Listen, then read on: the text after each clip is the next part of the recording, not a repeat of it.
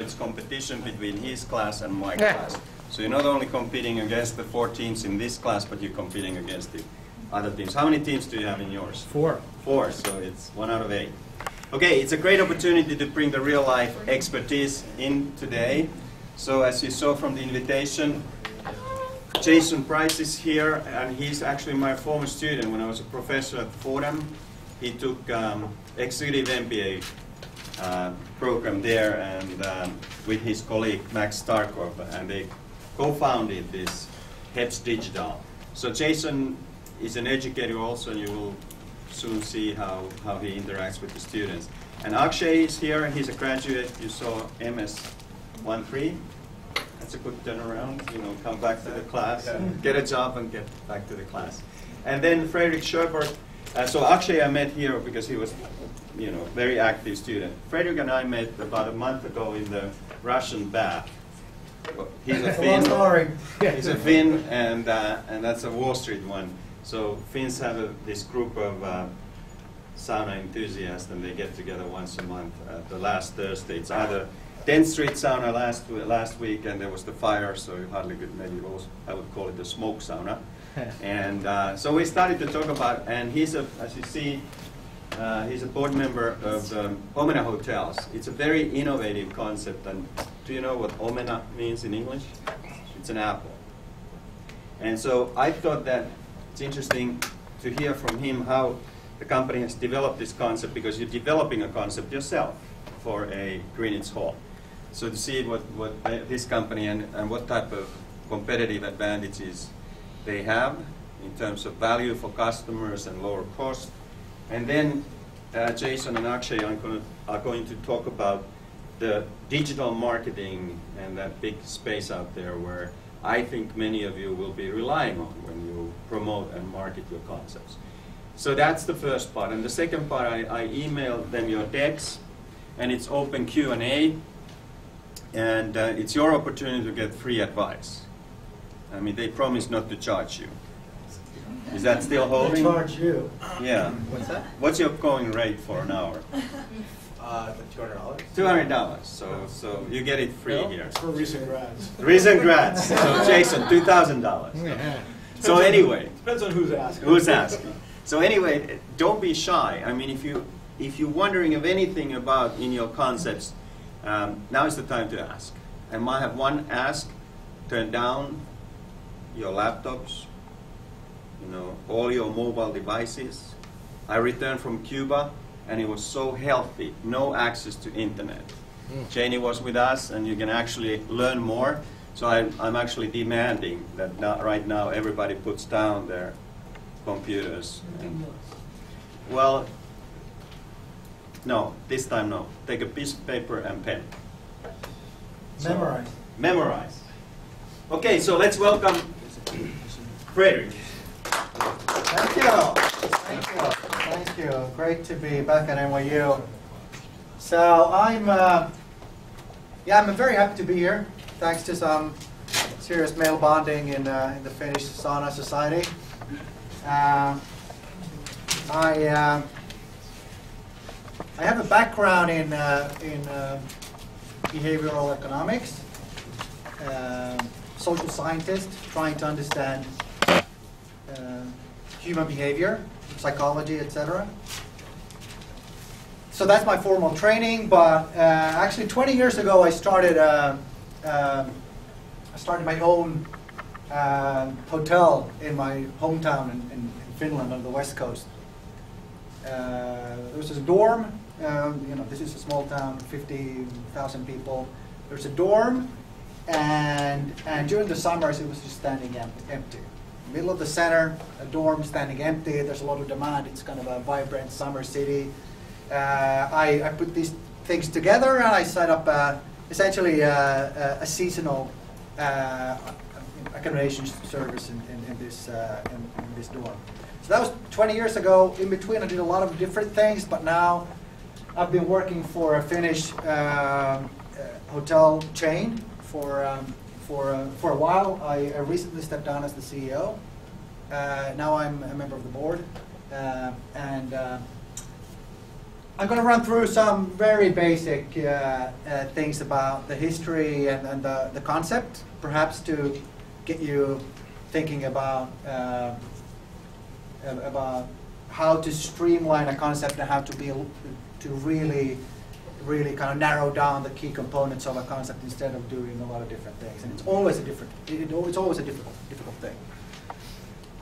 Um, so in terms of the thinking about concepts, it's, uh, it's very important to keep it simple, right? So there's a few simple rules and just try to, to, to, to stick to those. It's one thing to have it on uh, as an idea, but having seen the execution of a concept, it really gets messy out there. And if you don't have the concept rooted in a thoroughly thought through uh, framework, it, it, it might get messy once you start implementing. So this is the the the, the story of, of Omena Hotels. Uh, so it's a remotely manned um, economy-ish segment hotel. Uh, in Finland, we don't have a formal star rating, but you know it's kind of a three three star uh, hotel. There is uh, it's a completely automated experience from the guest's perspective. You don't see a single human being throughout your, your, your, your guest journey. Our mission is to enable more people to stay in the city centers uh, hassle free. So, no queuing, no check ins, no check-outs. You book, you pay, you, you you stay. That's it. The business goal is, is, is broadly defined to be the, the most cost-effective and profitable uh, hotel company in Europe, and, and we, we get to that by, by using automation. So we're, we're in it to make money, not to please people. We're in it to take people's money. We, you know, we are very much a for-profit and aggressively for-profit, uh, and that's our goal. It's founded by a very famous uh, Finnish entrepreneur and businessman, uh, Robert Grönblom. Uh, he founded this uh, in 2002. He actually got awarded as Business, Businessman of the Year in Finland in 2003. Charismatic individual with a lot of experience from the hotel sector. He actually got admitted in uh, 1971 to Cornell, but he never ended up going because he thought it was just ridiculous to, to, to go to school. He wanted 1997 or? 70, I think it was 71. Yes. Yeah, good choice. Didn't go because we didn't exist then. yeah.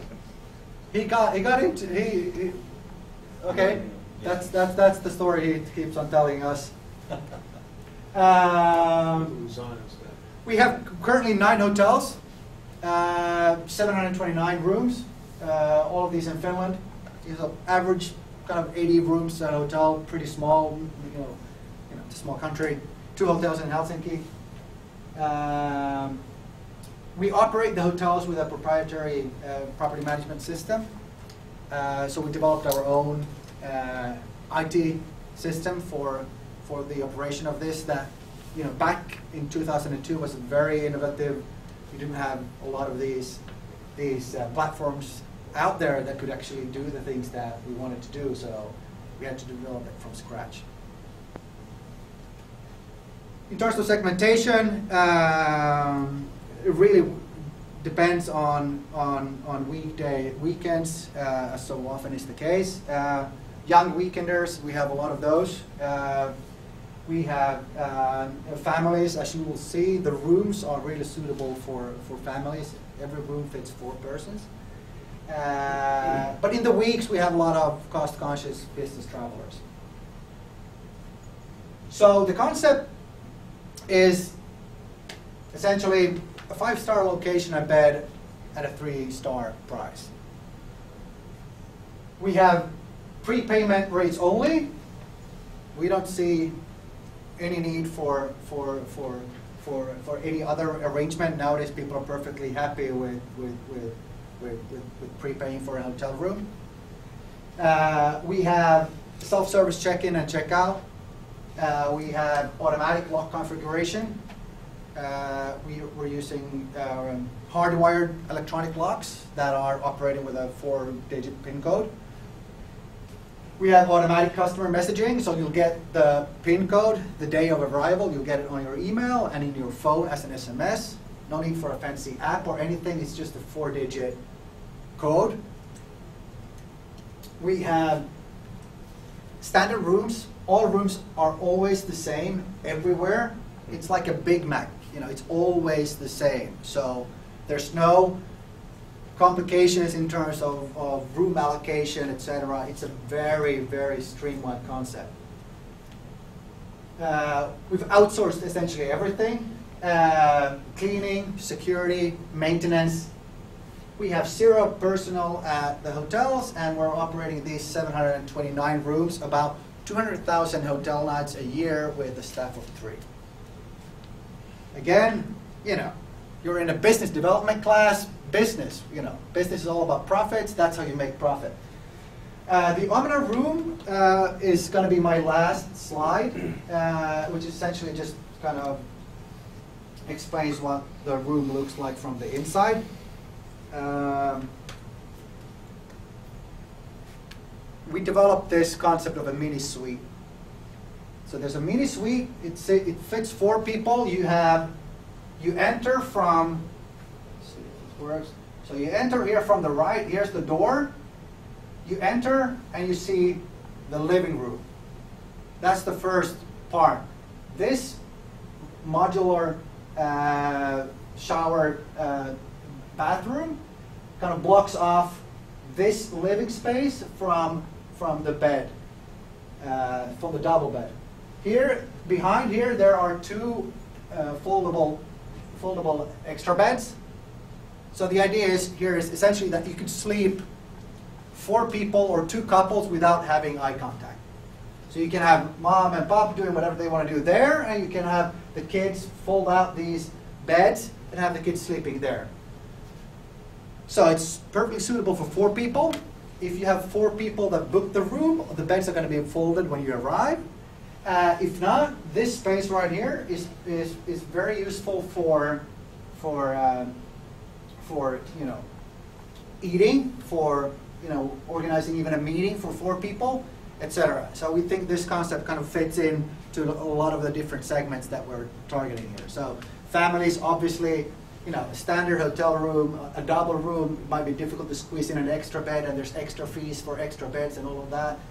For for a business person that doesn't have necessarily an office, you know, you can organize meetings, negotiations, and this. It's not it's not right by your bed. It's kind of a separate uh, seating area. And of course, for kind of young weekenders, you could get four people squeezed into a room, and, and, and per, per person price is, is some of the places even like less than nine ninety nine.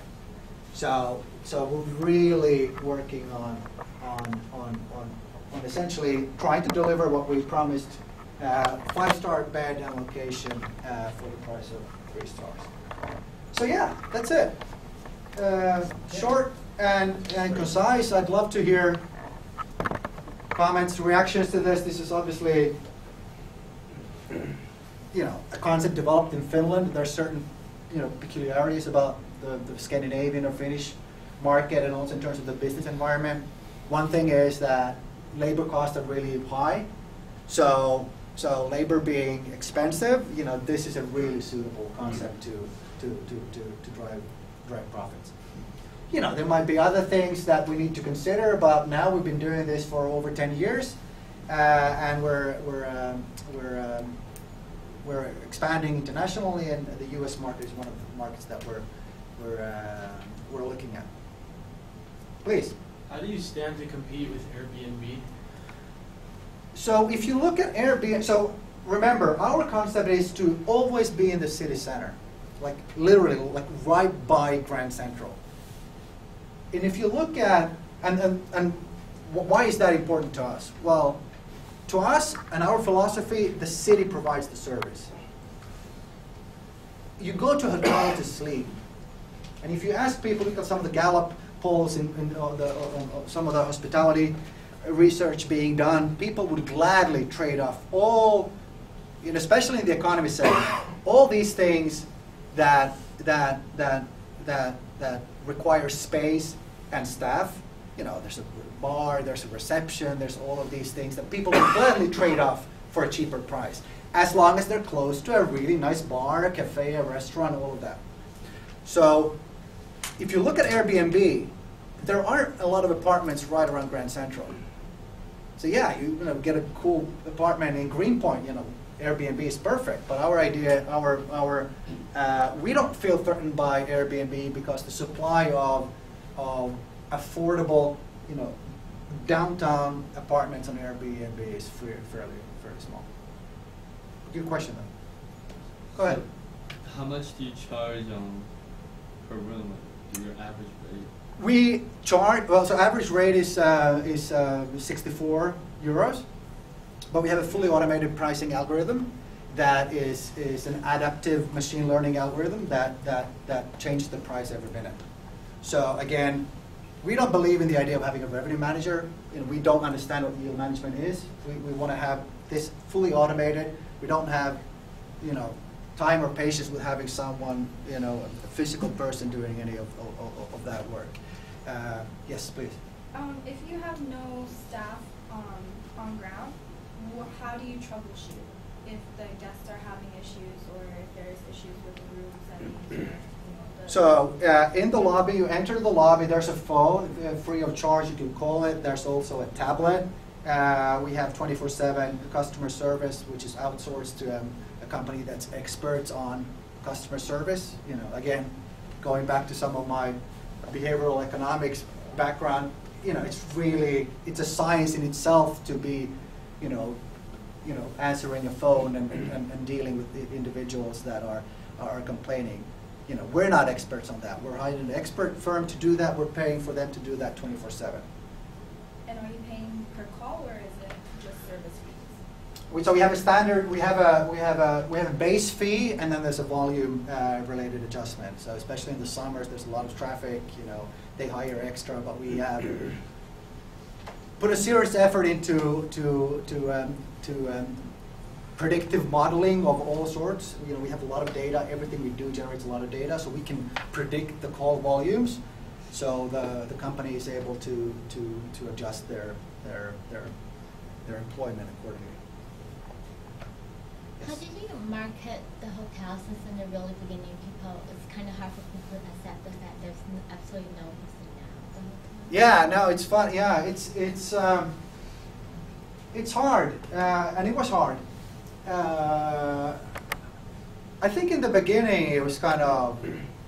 So actually, in the beginning we had a flat rate anywhere in Finland.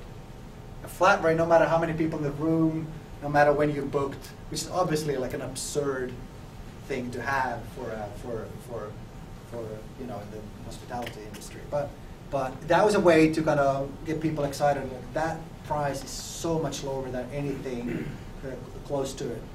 And then you know word starts to spread. You know we have. Um, great beds in the room. They're all produced in, in, in, in- in Finland. You know, so you know, it's all about the product quality in the end. You know, location is great, but but like you know, the quality of the, the core product uh, is what I think convinced people uh, um, in the end. So it certainly it was certainly a challenge. You know, 14, 13 years ago, but I think now people are just you know used to it. So now it would be a lot easier. Yes. By having zero, you know, personnel like staff working on the hotel, there's the main reasons to cut down on cost. Is that correct? Oh, sure. How how much do you save about you know compared to a, a regular hotel that has regular staff rotating in the on property? I don't know. I should I really, I, sh- I should have those numbers. I, I, I, I don't. Um, so, um, Yeah, I mean, what, what the, what's the number for economy segment? Do you remember here for labor in the US? For the economy segment? What, Is it the like- operate, yeah, I really don't, but that's a very good, I can do. To operate a economy hotel, you know, labor what's the percentage. percentage for labor, mm-hmm. labor cost? It's hard to say because you have Texas, the cost of, op- you know, labor in Texas is different than it is in New York. You have, there's economy hotels in New York that probably have a higher operating cost than, you know, a hotel in maybe in the Northwest.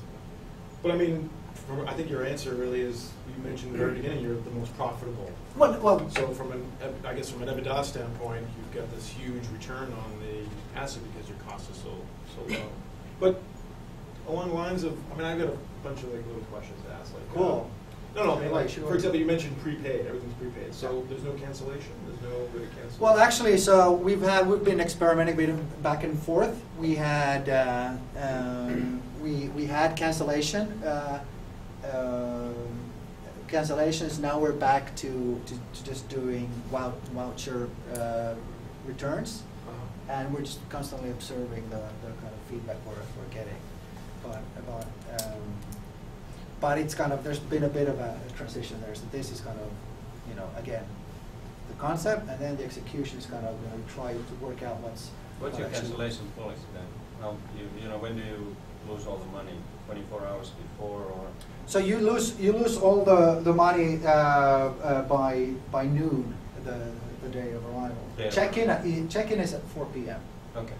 always the same, you can't change it, you know, again, we're, we're, we're, we're not trying to do what a traditional hotel would do to please the customer and also, you know, pe- people know that, people expect, people don't expect them, us to be flexible in terms of these things, they just expect a nice bed and a great location at a, you know, an unbeatable price.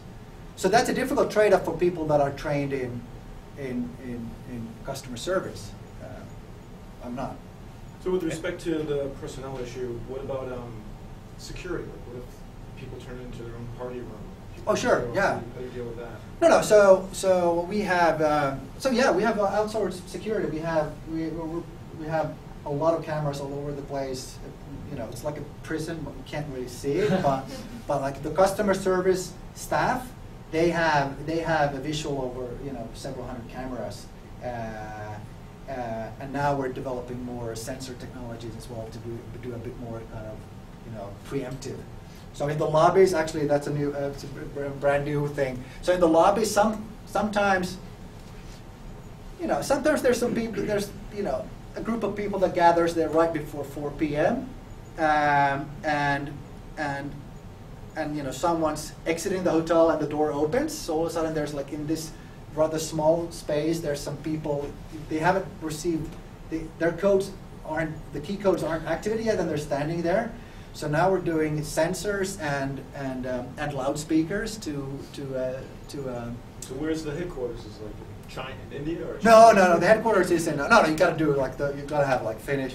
Imagine getting like Finnish, Swedish, Russian, Right, right, in, right. in, in, in, in China. So you have, you have a, a PIN number to get into the building, and another PIN number to get into same your pin room? number, Same PIN number? same pin number, and it all you know it starts to work at four. Um, and um, and uh, so so there's um, yeah, and, and then the security guards are doing. It's not an unmanned hotel, you know. We're just automating a lot of processes, but like you know, there's on weekends, you know, you know. You know, right after checkout, there's a security guard in all hotels, and then around three, four, when the restaurants close, there's a security guard. You know, you don't need to have them on staff 24/7 to provide the same kind of service. Like it's not that we, like we know when we need a guard. You know, again, kind of predictive analytics. We can predict with, with a high, high, uh, with a high, you know, accuracy what you know what kind of service we need when. So, yes. So when you say you're outsourcing, it just, it doesn't mean that, um, those staff aren't available, but they're just out at a different location on cue. Well, they're just not on our payroll. So, so, so again, you know, it's, it's especially in a high labor cost environment, having a lot of people on your payroll is, is bad for profitability. You know, it's business. So, again, on what are the risks associated with having a lot of people on the payroll? Well, then, you know, if they're, you know, business is cyclical, and if you have a lot of costs and, and you know, you know, sales are low, you know, you're immediately being squeezed. You know, if you have outsourced contracts, you know, that allows you to, to be more, more flexible. Yes, please. Then, uh, how many people do you have in your company except the Three. outsourced Three people. resources? Three people. There's a CEO, Three. there's a hotel manager that essentially just travels around the country and makes sure that everything's in, in, in place, and then there's a sales person. Well, would you have finance person process the, the bills? There's no bills, but it's prepayment. Well, yeah, so yeah, the E You have CEO. electric bills, you have water bills, you, who pays for that? You, someone, has- you have a back office that manages. No, no, no, we don't have a back office. You have, yeah, we outsource accounting, you know, but, but, but the CEO obviously you know, the CEO spends, you know, several minutes a day, you know, clicking, clicking on a computer, you know, bills that need to get paid. But uh, of course, that's already, you know, that's all through a, a, an online accounting platform. Uh, and again, we're- we're paying for the value. Again, we're trying to build a scalable business model here. And, and, and you know, like once you get those processes right, I'm not saying that we have all of them perfectly right, but at least on the conceptual level, I mean, we've been kind of fine tuning it for, for, for 12, 13 years. Uh, I think we're getting to a point where, where, where you know, you know, the, the scalability is really gonna, gonna. Did you say you own, I'm sorry, go ahead. Did you say you own the buildings or? We don't You own anything. We don't own anything except for the brand and the proprietary IT system, and then we have three people on staff. Then, uh, I guess you're big spending, and how many properties you can cover with three people in the corporate office you expect? No, like- Well, there's no, there's no upper limit. We're selling, we're se- we're selling, we're sell- selling, you know, two-thirds of our sales, now we're a very established brand in Finland, so two-thirds of our sales are through, you know, through the- our own website. It's a very, it's one of the more recognized brands in, in, in, in, in, you know, the hotel industry in Finland, and Jukka can certainly attest to that. Uh, um, so, so, you know, so we have like 30, 40% through the external channels, and, you know, you don't, there's no issues with scalability there, you know, you're just paying the commissions, and it's all through, through, uh, through, through integrations with, with, with, all these OTAs, so, so it's not like adding 10 hotels would need, would mean anything for us in terms of, of, of staff and, and, and, and processes. Oh. Did you have a question? Yeah. So how do you manage your outsourced personnel? How do you measure their performances? How do you manage? it? Great, great. That's the best question so far. It's really challenging. Outsourcing is a great idea for certain businesses, but actually doing it and assuring quality is, uh, is, uh, is, is very difficult.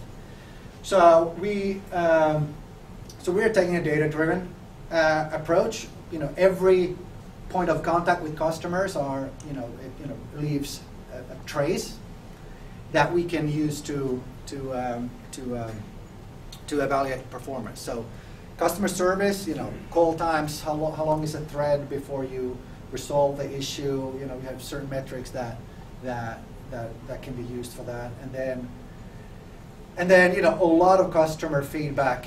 You know, we're constantly asking people for feedback. You know, there's an exit email, and there's like lotteries for people to to you know, where we're doing SMS, uh, snap polls. Uh, you know, so there's all uh, like a whole army of of monitoring tools for product quality, like the rooms, what the rooms look like. Uh, our uh, we're doing random spot checks uh, with uh, with uh, actually yeah so students especially in the summertime we have have them do random spot checks checking both the quality of the cleaning but also the quality of of the of, of the rooms. So obviously like the most the most pissed off customers wouldn't even fill in a, in a questionnaire right? So you need to do some some some some some cross validation of that. So um, so it's it's hard. Uh, so the, the short answer is you know focusing on monitoring tools uh, and and really producing actionable intelligence like constantly, uh, and then and then um, and then designing contracts in a way that there's punishments. So for instance, our cleaning contracts are such that that if the uh, um, that if um, if a customer complains or there's a certain proportion of customer complaints, then we get we get a reduction in the, the monthly cleaning bill. So designing contracts that would incentivize, you know, you know, the cleaning organization in this case to, to really do their job is, is, is something we were working on uh, quite a lot. Yes, go ahead. Are Oh wait, sorry. Are your rates um per room or per person? That They used to be per room, now they're per person. I think we might be going back to per person. Um, Per so- room, going back to per room. Yeah, I'm sorry, sorry. Back to per room. But now currently it's per person. So there's essentially like a, a few percentage point increment per person.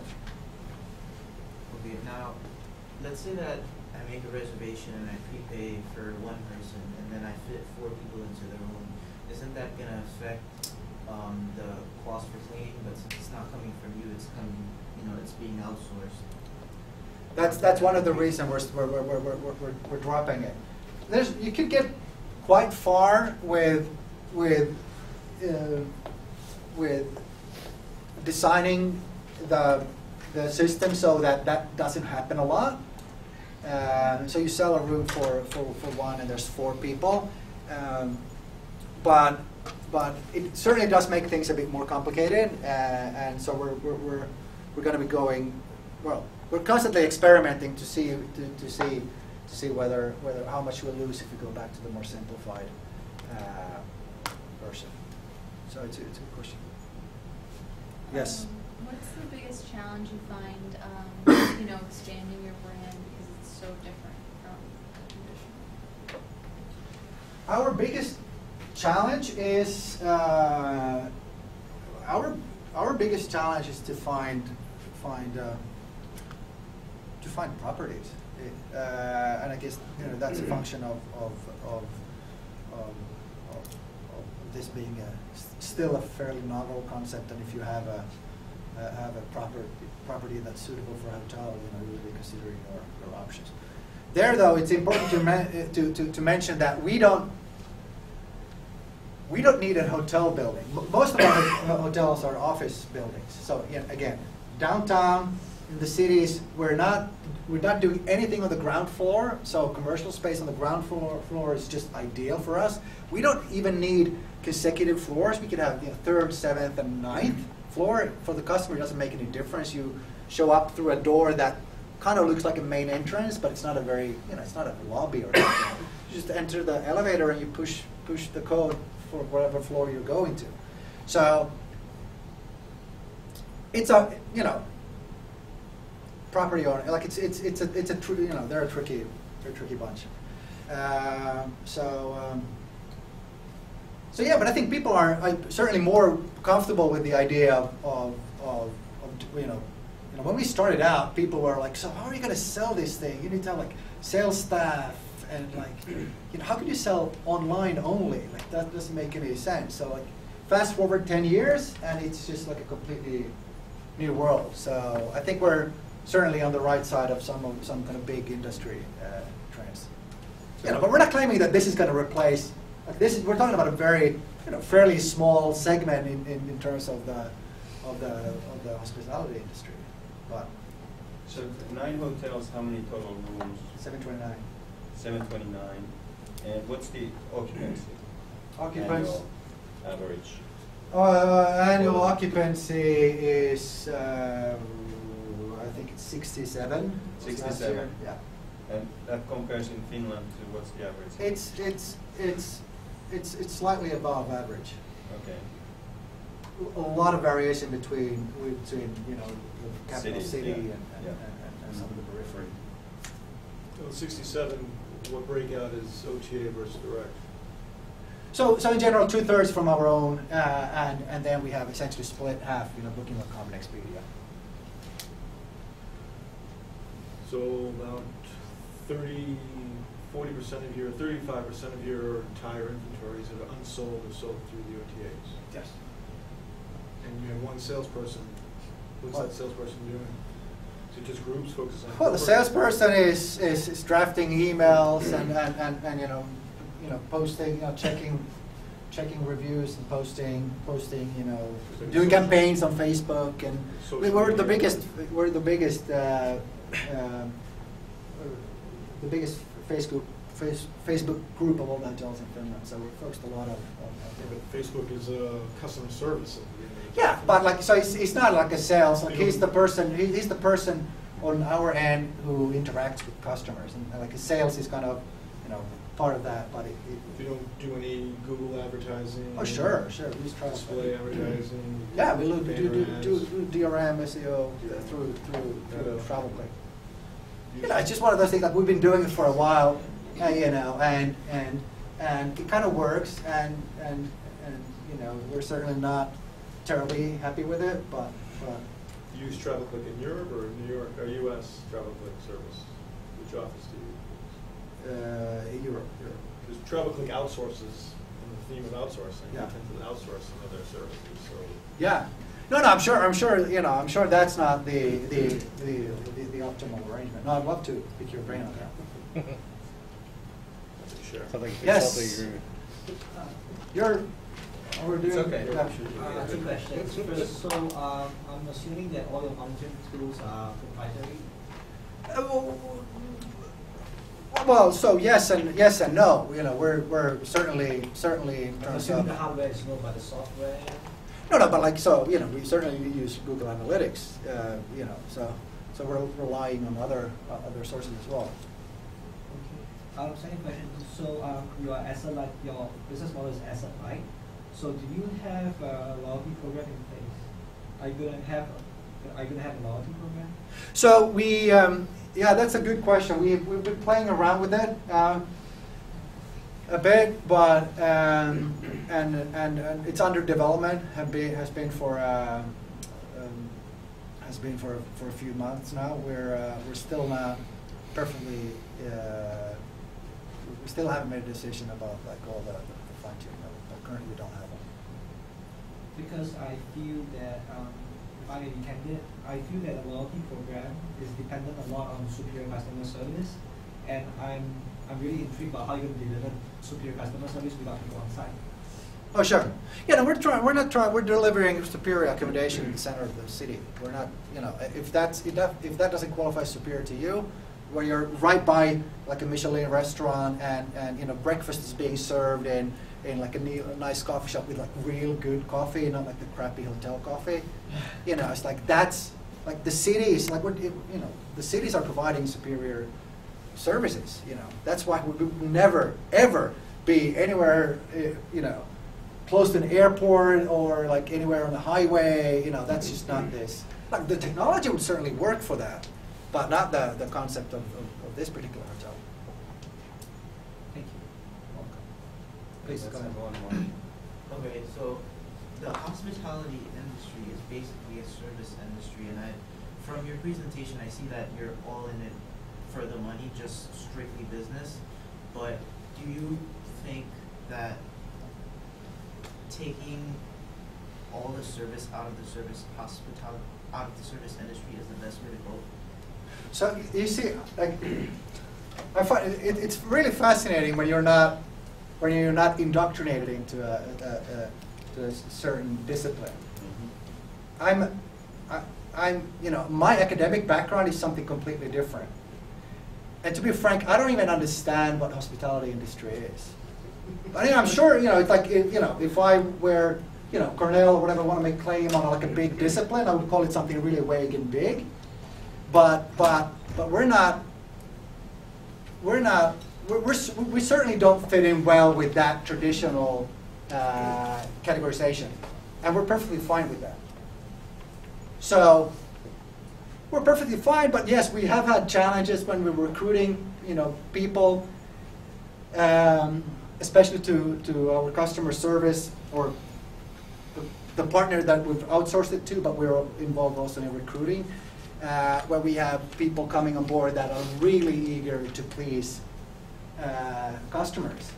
You know, straying away from the core product that we're delivering. We're not delivering a superior, you know, experience beyond, you know, sleeping in like an amazing bed with amazing location with like soundproof walls and everything. You know, so we're selling sleep, and you know, as it happens, kind of that's that's one of the kind of you know essential necessities. You could go without water, you could go without you know food even for a day or two, but sleep that's that's harder. Mhm. So so that's essential. Everything else is just add-ons, as we see.